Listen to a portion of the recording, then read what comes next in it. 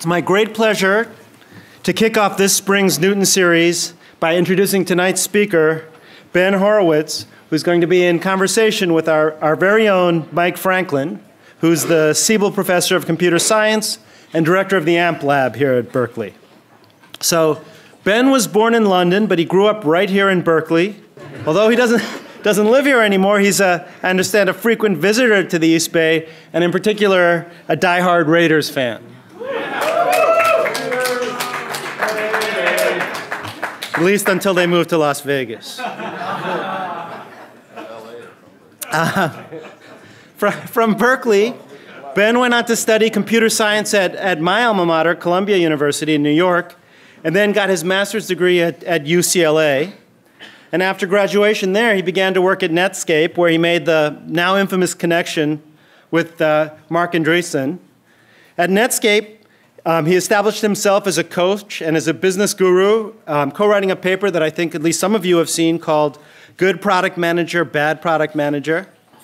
After Netscape was sold to AOL, Ben and Mark, along with um, Insik Rhee, who's a Berkeley alum and a Sutardja Center advisory board member, went on to found LoudCloud, an enterprise software company.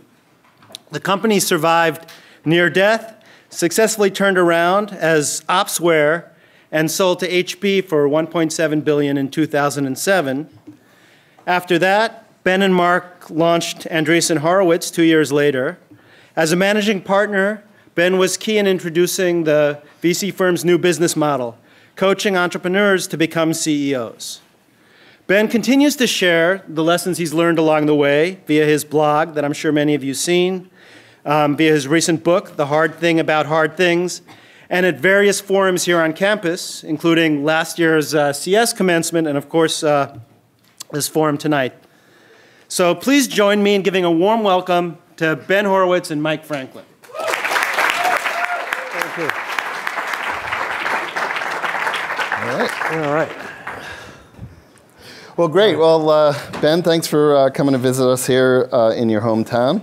Um, so, uh, prior to uh, this event, um, the students were asked uh, to submit questions All that right. they had for you, All right, which makes my job a lot easier. All right. And um, one thing I did is I, I tried to categorize them into, into a few different uh, topics.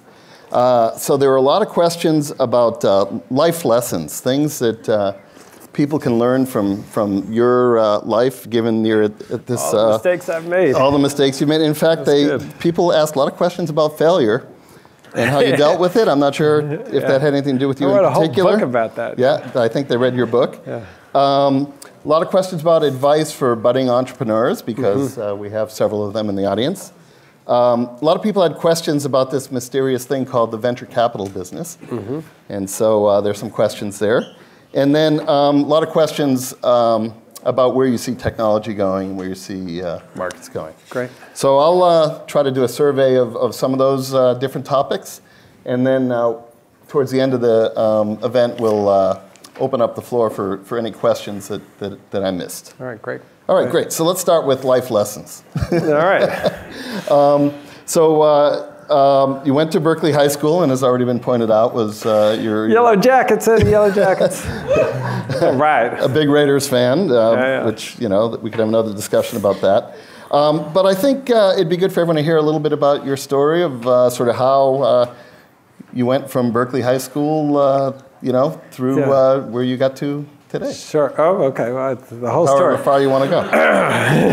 We've only got an hour, so Well, yeah. So, well, I, uh, you know, I graduated from Berkeley High, and, and you can, you have to imagine um, growing up in Berkeley and then leaving Berkeley, because you guys, a lot of you probably came to Berkeley and you're like, wow, this place is weird, and and that was just kind of how life was growing up. And then when I went to school in New York, it was just. Uh, it was shocking. I, I just say like extremely shocking uh, going to New York in the 80s. And um, as an undergraduate, the, you know, probably the most challenging thing that you have is you really want to fit in, particularly if you go to a college like I did where I didn't have any friends going there. I was just like showing up and you're like, oh, you're going to show up in a new city and you don't know anybody and you're from a weird hippie kind of town. Uh, and so I show up there, and um, you know I really want to make friends, but um, as that I get into it, like you have to be careful because like friends, like your friends in college, are like kind of stupid. Um, Depends on and, what I- college and, and, I'll, and I'll tell you what I mean. well, they're stupid about what you should do with your life. Let, let me put it that way. Um, and that, that, that's kind of like probably my most important life lesson at Columbia was learning to think for myself. And, and I kind of ran into it because in those days, um, computer science was kind of like not, like now it's like a cool major. Um, like people think, oh, that's a good idea. you're going into computer science, or you're even taking a computer science class. That's smart. Um, but back then, uh, you know, and I think it's we misnamed the field. You know, like because people thought computer science was kind of like automotive engineering. Like that's what it sounded like to people back then. And so when I started to take these classes in computer science, I was like, wow, this is like really interesting. And then, um, and I hadn't even declared my major yet, and then I, I take this class, uh, you know, the, the class about the kind of theoretical machines, the push-down automata. Some of you guys are computer science majors, and you learn about Alan Turing, and you're like, wow, this guy did this proof. And he proved that if you make a computer that's like Turing complete, then you can compute anything. And that means that like there's going to be one machine that like is the machine, like that does everything. And you got to remember, like this is 1984.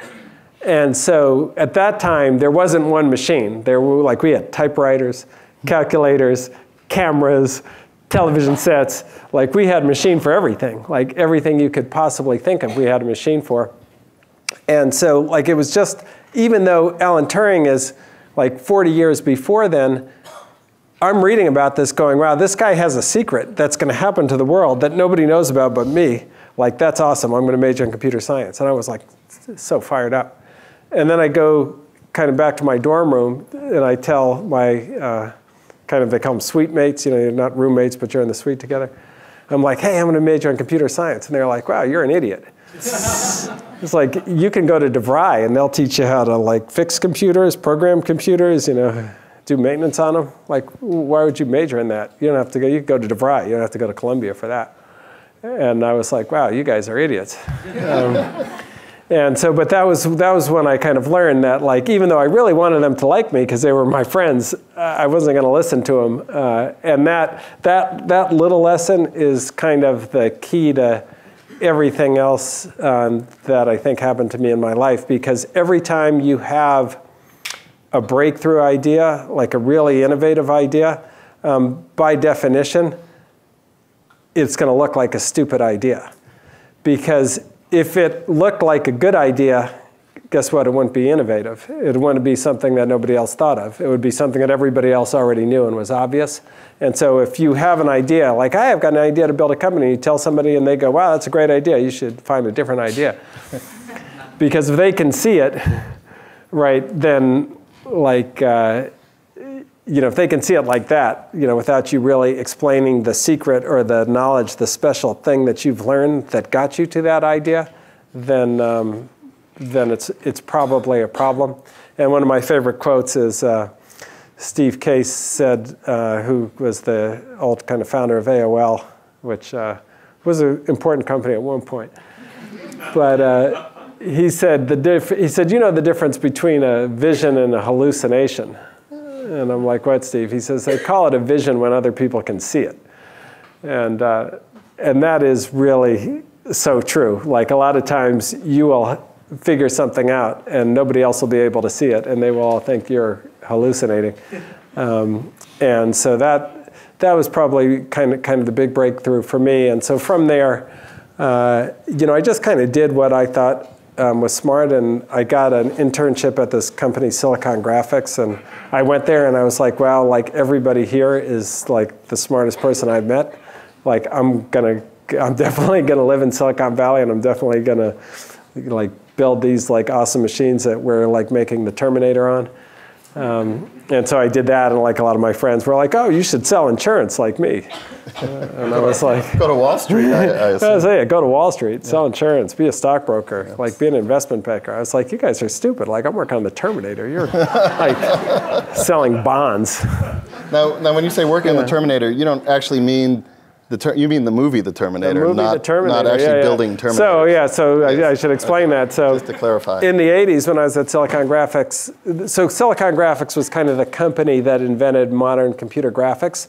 And one of the first applications was kind of rendering um, kind of the original kind of CGI stuff in the movies. And one of the first really awesome movies was Terminator 1, um, which was done all on Silicon Graphics computers. And so that was, uh, that was really great. And then, you know, my career, and then, you know, a, as my career went on, um, I, uh, I was at Lotus and um, I first saw this thing, Mosaic, uh, which uh, was quite eye-opening because we were working on a product called Notes, and it had taken years and years and years and years to build Lotus Notes. Um, and what Lotus Notes had done in the most kind of complex way imaginable, like Mosaic was doing, and, and, and proprietary, Mosaic was doing all of that, but in a completely open and totally simple way. And I was like, oh my God, that's the future. I'm in the past. I've got to go. And so uh, I uh, kind of applied for a job at a company called Netscape, where the founder, um, who's my friend Marc Andreessen, uh, the, the guy who built Mosaic was, and I, I, got to meet Mark, and, and that was really interesting because uh, I, I, swear to this day, the reason that Mark invented the browser was because in those days, there just wasn't enough for him to read. Because like this guy is like seriously the fastest reader you've ever seen in your life. Like I'll go on a plane ride with him and he'll read like six books, like in one, in one leg. I'm like, what, what, what are you doing? You're turning the pages faster than I can like turn the pages and you're reading.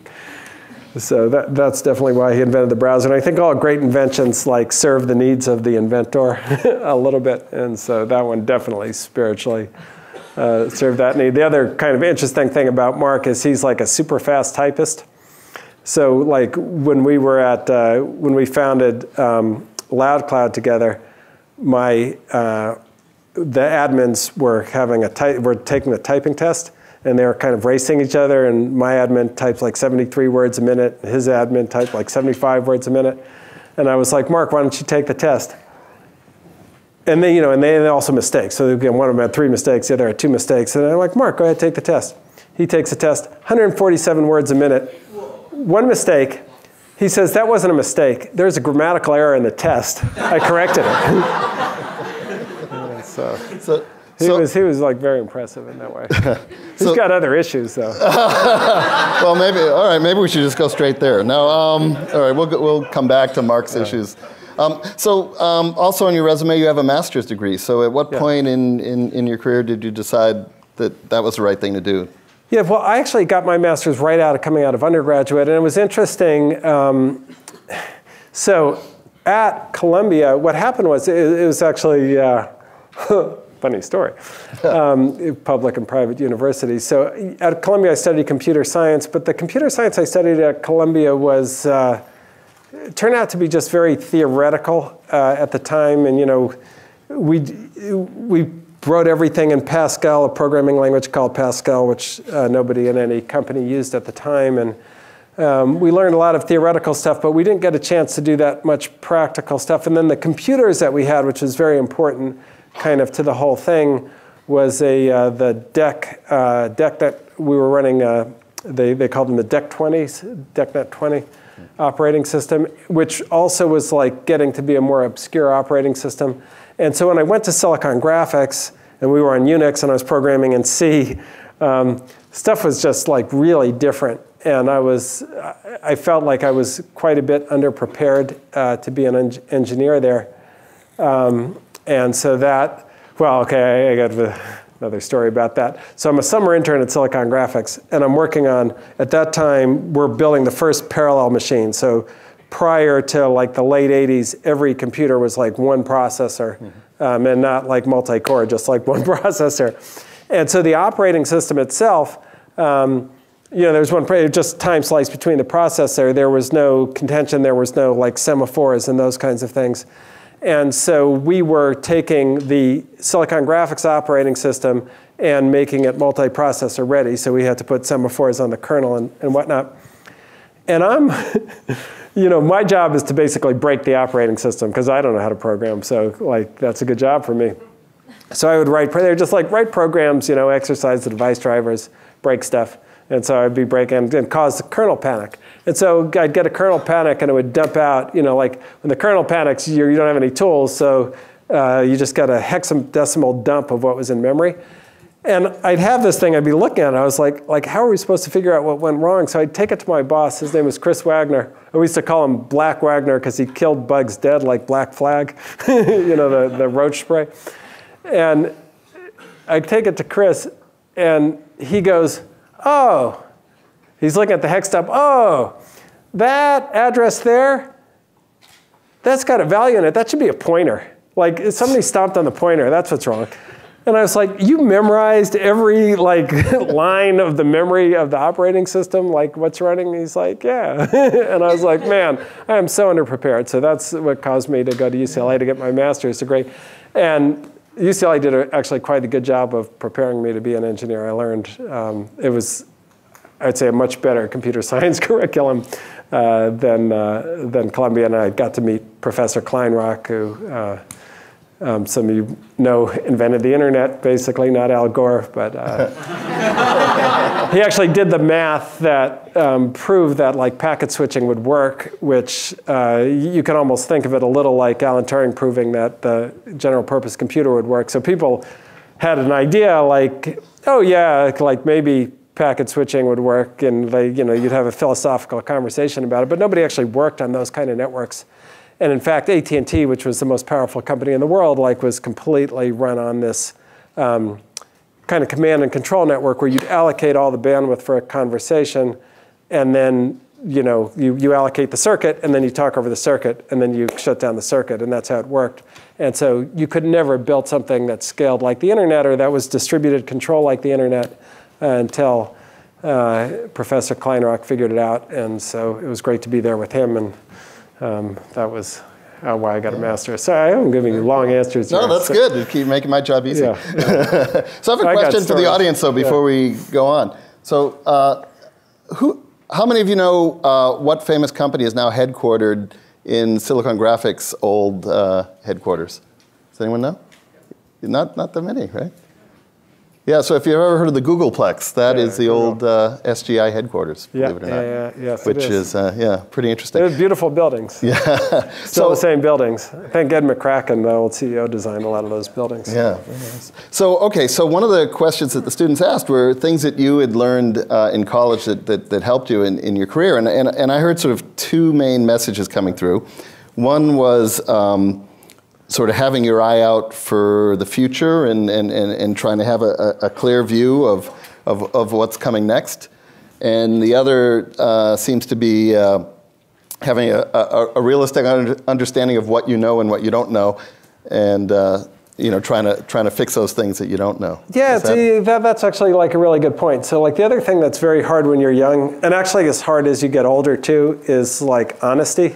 Um, and that's like honesty with other people and honesty with yourself. And I know it's funny to say that. It's like, oh, so Ben, you're, you have to like work to be honest. You're not a naturally honest person. And, and the truth is like there's not a naturally honest person in the world. Like that just doesn't exist. People all pretend they're honest. And if you think about it, like if you go, am I honest? You go, yeah, I'm honest. And then you, I go like, okay, who else do you know that's like completely honest? Pretty hard to come up with somebody, isn't it? Yeah. Because nobody really is. It's something that you have to work at. And the reason you have to work at it is kind of you it goes back to like you really want kind of to feel good about yourself and you really want people to like you and the way to get people to like you is you tell them what they want to hear not the truth you tell them what they want to hear uh, and that's just not honest and that's kind of the biggest challenge that you run into if you want to lead an organization or, or go do something important is you can't lie to other people and you can't lie to yourself. Or if you do, like they see through, you might think you're being slick, but they see through it. You know, like if you run a big organization and you're just lying all the time, people will go, okay, yeah, I get. Well, I was going to drop a name, but I, I know we're videoing this, so I don't want to make an enemy. Um, but but you know, kind of the people that I'm talking about, um, and so that is you, you should just know now that like telling the truth is work, um, and you have to when you're tempted to say the thing that people want to hear, um, or say the thing that makes yourself feel better, you need to check yourself and, and try to be honest. And uh, if you learn to do that, that, that's an amazing skill. You, you will definitely separate yourself. Cool. Uh, all right, so um, we'll continue the story a little later, but let, us take a, a, break and go in a, a couple different directions. So, uh, a lot of the questions that, that, that, people submitted had to do with um, uh, sort of what you were able to learn by making mistakes. So, like, you know, a lot of questions like, what was the, the biggest mistake you made? What was the most valuable learning experience? Uh, you know, people are basically just trying to feel better about things they've screwed up. So, how, uh, uh, you haven't? Did you make any mistakes? I, I, read your book. I think there might have been a few in there. Yeah, yeah. yeah. It's all, all, all, mistakes. We used to have a motto: all new mistakes. That's a, yeah. that's the key to life. All new mistakes. Um, like if you try not to make mistakes, you're not going to accomplish anything important. I mean, like that's just a a fact, and I think that that's actually one of the things that um, is a challenge with school, because in school there's a huge reward for getting all the answers right. Um, and so you do kind of train yourself to want to not make mistakes. Uh, but that's a, actually a bad skill psychologically in life. Um, and we see it in entrepreneurs, like in CEOs, like always uh, joke with each other, like we, you know, you need a, to be a really good D student to be a good CEO, because, and and it sounds funny, but the, the, the truth to it is that like if you like build a company, the mean on the test is not like 70 or 75, like nobody gets a 70. The mean on the test is like 16. And so like if you feel bad that you're only getting one out of five things right, like you're making a mistake because like that's good for like starting a company and the tons of things that you don't know how to do and like all the things that you have to do but you want to be able to go quickly and make mistakes and learn from them and correct. And i like i, I made so many mistakes um, it's just ridiculous. I mean it, it's totally i'll tell you about like one mistake that i made that i don't even really like to talk about. but I made a mistake. So when we started um, the company, we Loud Cloud like grew very very fast. The cloud computing company that I started, uh, very fast. Like we booked.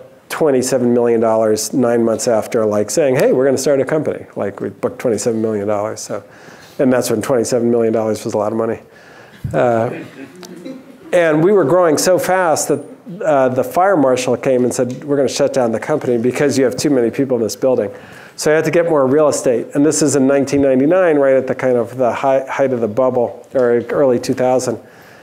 And, um, or the, the actual bubble, not this bubble, which is like a semi-bubble. That was like a full-fledged bubble. Um, and you know, my CFO goes like, okay, we've found space, like, you know, what do you think? And rather than like spending 10 minutes like really understanding that, I was just like, okay, if you found it and you think it's the right thing, let's go. So we leased the space, $30 million, $30 million letter of credit to like secure the space, $10 per square foot in 2000. Within six months, the dot-com crash happened and that space was worth 99 cents a square foot, and I had like a $30 million commitment to stay in it for 10 years. Um, and that $30 million just haunted me for years and years and years and years. And the whole time I'm just thinking, wow, if I had spent 10 minutes, I would have saved myself like years of like waking up in the middle of night, night sweating, going, what the fuck did I do? So, uh, you know, like that was just one of the mistakes I made, but I made like tons of mistakes like that. And, you know, like if you try and do something really hard, you're going to make a lot of mistakes. And, it, you know, entrepreneurship is very much like um, scientific discoveries. So if you read about any of the great scientific discoveries, they almost never found what they were looking for, right? Like you're, you're going to do one thing and then all of a sudden, oh, this works for that. You know, you're trying to cure heart disease and you invent Viagra or whatever. but um, maybe that's not a great example.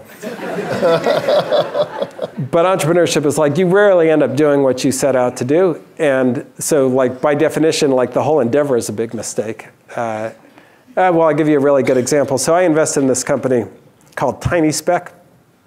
Um, and the company, it was founded by this guy. He's really a great guy. He had founded a company called Flickr. Um, and, you guys still know what Flickr is?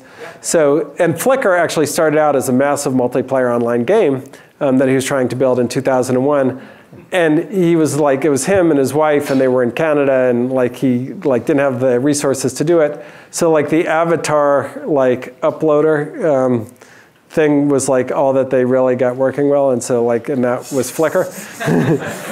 Uh, and so and they sold that company to yahoo for like whatever 30 million dollars and uh, so then here we were like 10 years later and he was going to make the game again and this game was called glitch uh, and so he builds Glitch, and I love Glitch. It was like a marvelous game. He builds Glitch, but Glitch had two major problems. One is he started it in 2006 and built it on Flash before like Steve Jobs declared war on Flash, so like it wasn't going to work on like the iPhone. Uh, and then uh, the other problem um, was like people would finish the game in like two days, and so that, that's not very good for retention. Um, and so he's at that point and he's got $6 million left. And he calls me, he says, Ben, like I've got $6 million left. Um, I'm not, I have no like way to raise money because I've made really no progress because of these issues.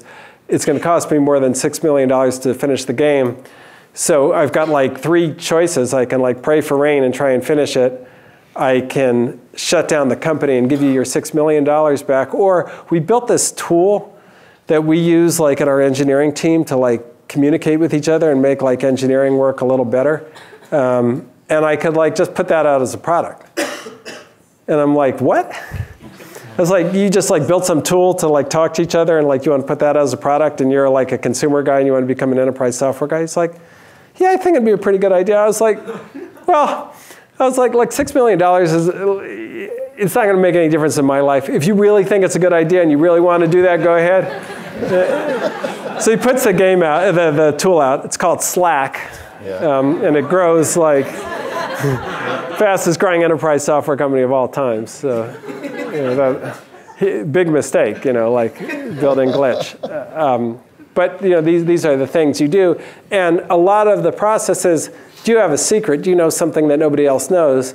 And because he was like pulling his hair out, like literally smoking like eight packs of cigarettes a day trying to get glitch out the door, like he was doing everything to optimize that development. And so he learned where software development was suboptimal. Like he discovered a secret in the process of trying to build the game.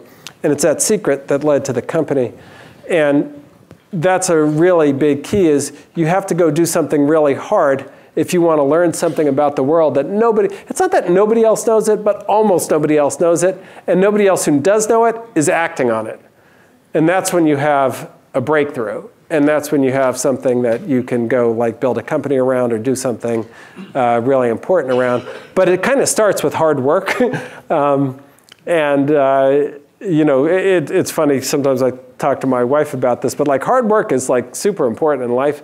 And like now, like I grew up like in Berkeley, I didn't have any money. I played for the football for the Yellow Jackets. I was just like a kid in the neighborhood. And now like I have a lot of money. And so like with my kids, I'm like, okay, now that I'm rich, how do I teach you the value of hard work? Because that's really the only important lesson that I've got.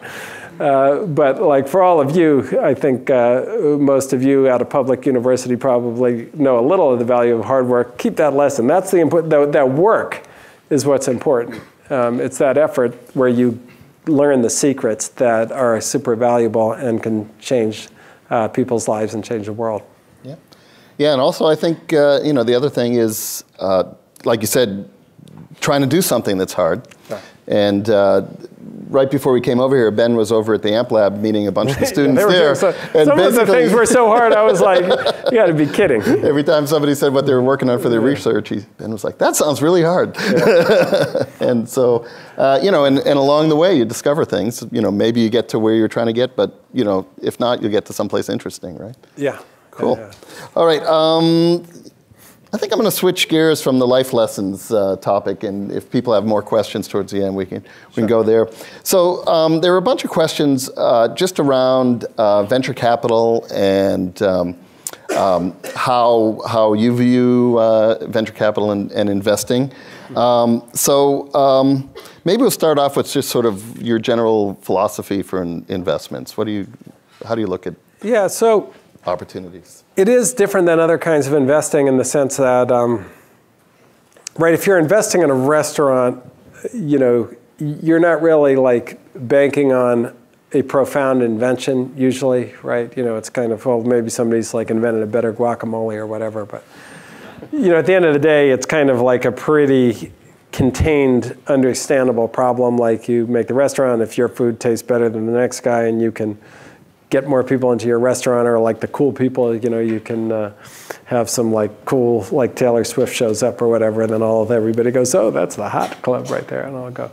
Um, and that's that's like the restaurant business. So like that's a different kind of investing. If you're investing in like breakthrough inventions, um, then there's not really like you know with Slack like not only did we not invest in it, but like what, we, what was the business model, like how it was going to work. Um, and you know, another company that uh, actually was came out of was one of the founders, um, Scott Shenker, who some of you probably know, a professor here, was one of the founders called Nicira Networks that I invested in.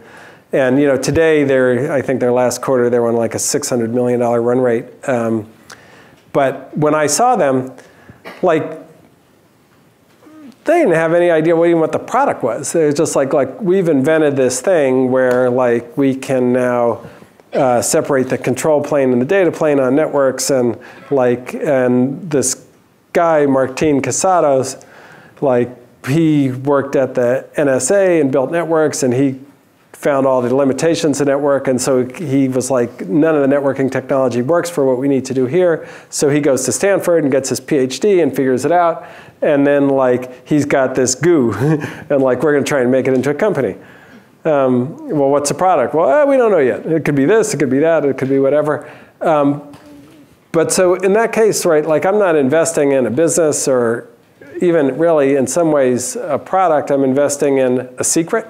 Um, so they had a secret uh, that they had earned, like not just a like a. And people will often, when they're pitching me, will make up like that they have a secret. They're good storytellers. so you kind of have to go through and say like, well, how did you earn the secret? Like, what very hard work did you do to get to that point? Um, and and that's a lot what we're looking for. And some of it, the process of finding the secret, the determination, is the same kind of determination that you'll need to to go on to build a company or, or do something like that. Um, and, you know, so that's kind of at a very basic level what we invest in. We invest in who, we think are special people with like some, with a really important secret. And, and the investments that we make like that generally do very well. And when we get carried away or get caught up in some uh, trend about like how kids are behaving, that's when we lose all our money. So, uh, so that's generally how venture capital works, or that's the general idea behind it. And then um, after we invest, then the thing is you have this inventor, um, but that inventor hasn't actually built a company, hasn't become a CEO or an entrepreneur. And so, how do you, and, and we have a philosophy that, uh, and I personally have a philosophy that the very best companies are run by the founder, inventor. Um, and so, if you look at the great technology companies over in history, from IBM to Hewlett Packard to Oracle to Microsoft to Google to Facebook, um, they're all run by their founders. Uh, but you know, in the kind of history of venture capital, the big skill that the venture capitalists traditionally had was removing the founder and inserting the professional CEO. And so the design of our firm and the big kind of reason why we exist is we wanted to build a firm that enabled the inventor to become a CEO. And that sort of, there's really two basic parts to it. One is, um, are the people who invest in you, are they money guys or are they people who have built companies? So everyone who is an investor at our firm has founded and run a company. Um, and so like we know what the process is, so we can help the inventor learn the CEO skill set, which is a weird skill set. And then the second part is um, professional CEOs have a very broad network, uh, which they can, you know, they know executives, they know people in the press to promote the product, they know people in the capital markets to raise money and so forth. So we try and basically simulate that network for the entrepreneur, and we've built a kind of a, a very unique looking firm in that we have sort of eight investing partners and then 130 people in the firm, and the other 122 are all the network. And every other venture capital firm is primarily investing people. Uh, and the reason for that is we want the inventor to have the network of a professional CEO. So that's, you know, and, then, that was just my experience from being a founder and having my venture capital firm say to me, Ben, when is your company going to get a real CEO? and I'm like, well, what am I, chopped liver? so. but I screwed up the company so bad nobody would take the job, so I ended up being CEO. So, so uh, when a technical founder shows up, maybe a first-time entrepreneur, and uh, how important is it that they uh, give a credi- credible business plan, go-to-market strategy, market sizing? I mean, uh, are you guys able to look past that stuff, or? Well, it depends on the stage. Okay. It depends on the stage. So, like, look, if, if somebody's coming and they've like got an invention and the, and it's profound, um, and they're like, you know, they just started the company, then yeah, we would look past that stuff uh, for sure. Although it helps, like, you know, it does show, you know, you'd like them to have the curiosity to have at least done some of the work to think about like how they're going to go to market. Although the Nicira guys did not really think very hard about it, I have to say. um, but like if they're coming, you know, for their third round of funding, um, and they still don't know how they're going to go to market, that, that is a problem. Uh, and you know, because you know, at some point you do have to build a company, or you're going to go bankrupt and lay off all your employees and be really sad, and have a like a really heartfelt blog post that explains the whole thing. So, so there was a really nasty question in the in the list of questions that I want to ask. Um, so uh, you, you do a lot of investment in, in data and, and analytics and things like that, and and the, and the question was, uh, do you use uh, data and analytics in making investment decisions? Um, we do. Uh, we do, and that's not a nasty question. There are so there, there's different limitations. So the there's some things that like uh, we can do pretty strong analytics on, like you know, there, there'll be categories that come up like, okay, so like there's social networking is a thing for a while where there's a lot of important new companies and you can look at, um, you know, well, you can say, okay, you know, like what's the viral coefficient, um, which is kind of how fast does the, does it, uh, does the product spread on its own organically? Um, you can look at, uh, you know, and you can compare, um, you know, things like not just monthly active and weekly actives, but like how many, you know, did they, how many people use it five days out of seven, you know, during the week and not on weekends, and how many use it two days out of seven and so forth. And, you know, you, you can do that in like a category like that, but the interesting thing is by the time you really get your model, like, is there going to be, I'll ask you guys, is there going to be another like social networking company now? Like, or Snapchat it? Like, is that the last one? because it's kind of hard now that Facebook is as powerful as it is, and like, and plus you have Snapchat, plus you have Twitter, um, to kind of get enough oxygen to build a whole new social network. And that does tend to be how it goes. Like, you know, somebody comes up with a new category, and by the time you can really analyze that category as a venture capitalist, that category is somewhat over. So now, like, we're on to virtual reality and quantum computing and self-driving cars, And social networks, that's passe. You know, like you invest in that now. I mean, like you'll just lose all your money. So you, you do kind of have that challenge, uh, and um, you know, and just generally, like, what's the last really important mobile application that was built that's just like an app after Snapchat? Um, I'm not sure. It's been a while, you know, but that's what happens. You know, like you build a platform, there's a wave of applications, and then there's got to be another wave of like basic computers, you know, like hardcore computer science breakthroughs, new platforms, uh, new research, and then there can be another application wave. And so, you know, and, and for the computer science oriented things like, well, like Databricks, I mean, like, so we invested in Databricks out of the AMP lab. Uh, really interesting company, but there wasn't that much, you know, like, yeah, we could do analytics on like, okay, how is the open source community growing? But like, we knew the open source community was growing because like everybody was talking about it. Like, I didn't have to even do the analytics to know that. Um, but what you really had to do is go, okay, how much better is this, um, like at a technical level than everything else? Like how, you know, how long is it going to last? Will it take out MapReduce? Um, and then, you know, and then you could look at the numbers in the open source community and whatnot and, and see how it's going. But that, you know, that was like a, a little more secondary. Yep. That's why I thought it was a nasty question. Because I thought, yeah, good. It's a good question. I mean, you know, like yeah. it's one of these things where like, uh, there's kind of a thing that like if you're a computer scientist, like, you know, everybody's subject to Moneyball, right? Like we're going to wipe out all the jobs, just going to be computers doing them. And like uh, that's true for a lot of jobs. Yep. So, uh, you know, and, and I think data improves almost any job, even, even ours for sure. Um, but there are, you know, when it's early enough, there's not that much data to analyze.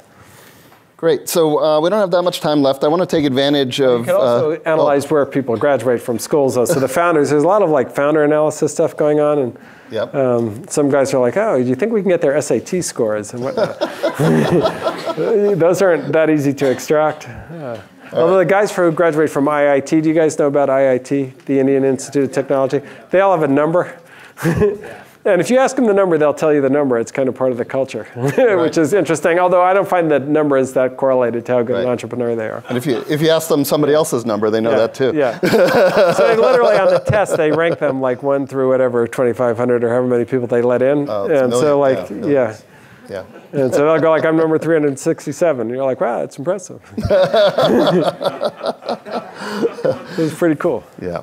All right, cool. So um, just to, as we're getting close to, to the end of our time here, um, you know, you see a lot of what's going on in the Valley, a lot of the, the latest innovation. So I just want to get, you know, your, your, your feelings on, um, you know, what industries uh, are you looking at? Uh, where do you see uh, the most potential for innovation, for disruption? What are you excited about?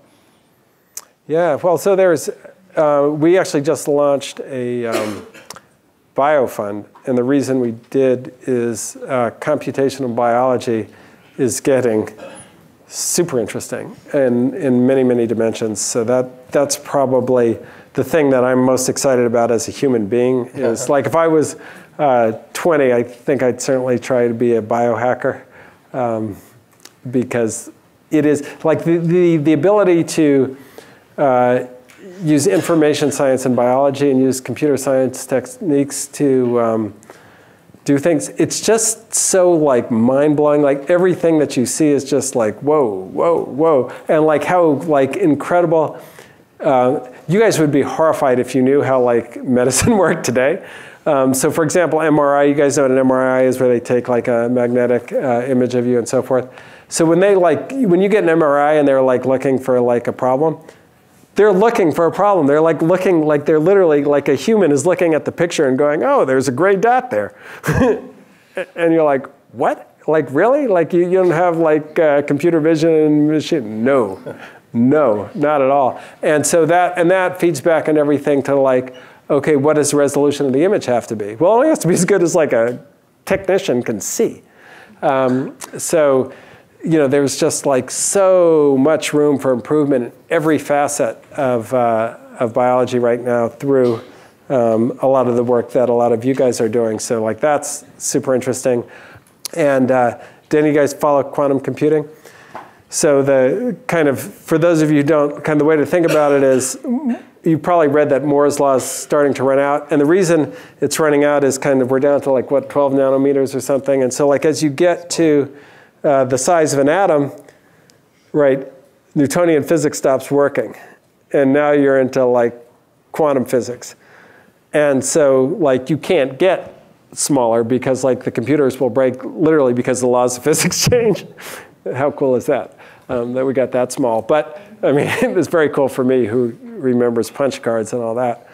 Uh, but so now there's uh, basically computers using the properties of quantum mechanics and quantum physics. Um, so you're building like a quantum, like literally a quantum computer, and they have these like really outrageous properties, like they're 100 million times faster than a regular computer, but they don't always get the right answer, and you don't know if they have the right answer. Um, so they're really good for things where um, uh, false positives don't matter, like say cracking encryption, um, where you can just keep trying, and you go, oh, I got the key. You know, so so that's very scary for like the world of computing. In that, if somebody builds a quantum computer that cracks encryption, then basically all security on the internet goes away like overnight. Uh, so uh, sorry, that was a horror story. I shouldn't tell you that. it's not nice to tell these things to the kids. Um, but there's yeah, there, there, there's just a, an amazing number of really interesting things going on. I, I think that this is probably. Um, you know, it's one of the greatest times to be entering the world uh, in that, you know, at, on one dimension, like human potential is being unlocked. You've got people from all over the world who have access to education and information that never did. Um, you know, people in places like, you know, Bangladesh and, you know, rural parts of China that like weren't even part of connected to the world that are now like completely connected and in it. And then you've got um, these incredible, this platform where everybody's got a supercomputer in their pocket. Like, that, that, that's bananas. I mean, you guys are like, ah, we've had that since junior high. What are you talking about? Uh, but you know, that's going on, and then you know, quantum computing and uh, computational biology. It's just like the, the world's probably never been this good to enter, particularly as an engineer. So, congratulations, awesome. Great.